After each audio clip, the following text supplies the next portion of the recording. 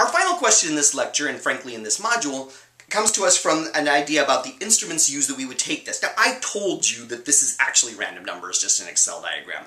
It's actually a sine wave that I then added a random number where the random number was proportional to the amplitude of the sine wave. I, am pleased with how clever I was when I made this.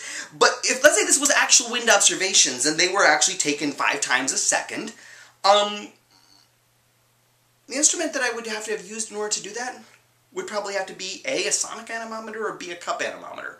Which of those kinds of instruments could actually take measurements five times a second? Make a choice from those two options and get a little feedback before we are done with this lecture.